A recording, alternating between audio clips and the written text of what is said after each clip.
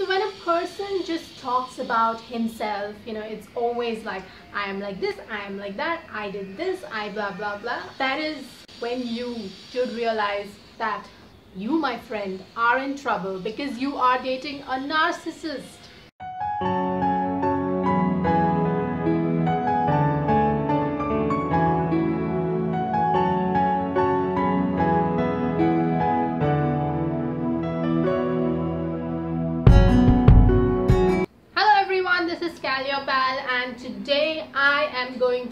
About how to spot a narcissist. So keep watching this video to find out if you are dating one or getting to know someone who's like that. A simple definition of a narcissist is a person who has excessive interest in or admiration of themselves. So basically, narcissist is a person who loves talking about himself and even when you are trying to tell him something, he'll just keep reverting the conversation back to himself. So let's find out the factors, you know, which can help you determine to spot a narcissist. Number one is the I factor. So this is like the easiest way to spot a narcissist.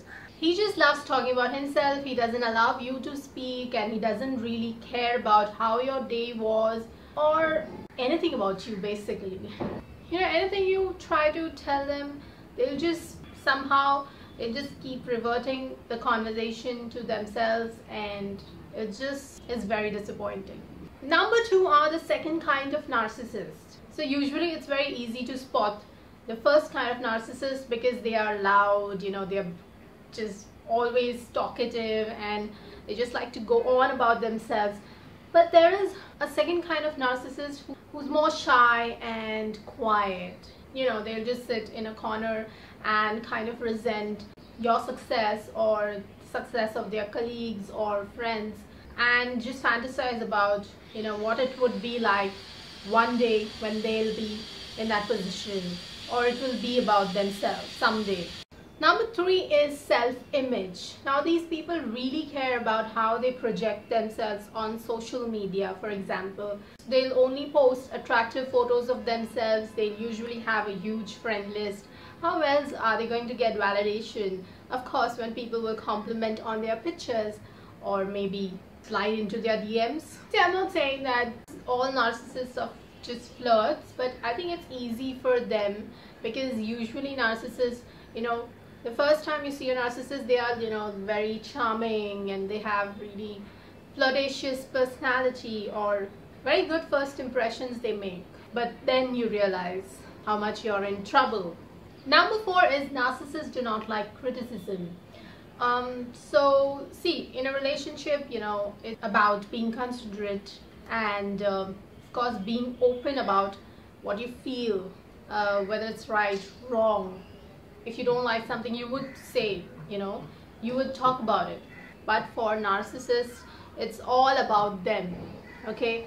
So they don't care about being considerate and they don't care about your feelings or you know putting efforts you know in your relationship to make you happy or for example return your calls or be on time or call them, things like that. They'll be in fact ready with excuses it's always about excuses or they'll put the blame on others.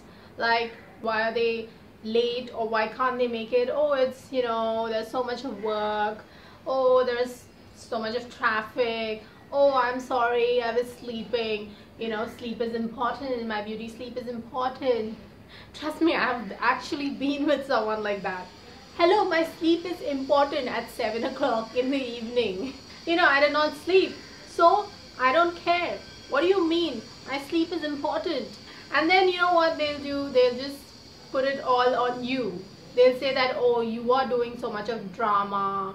You know, don't be such a baby. Don't be like, you know, typical woman. Don't start, like, this is not some Saas Bahu serial going on. Don't start your overacting.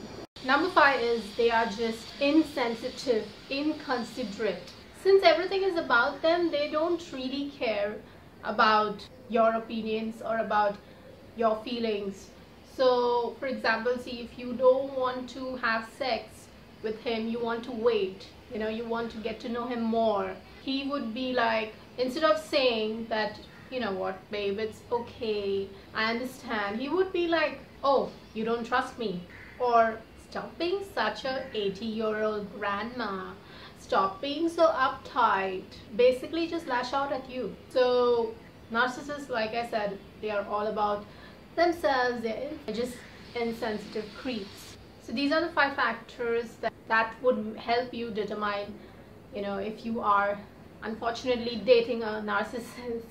If you like this video please give it a thumbs up. Please comment below and let me know what you think about the video. What more relationship advice topics you want me to make videos on. Let me know and please share this video with your friends and please subscribe. If you're liking my channel my videos please please subscribe. I need a lot of subscribers still.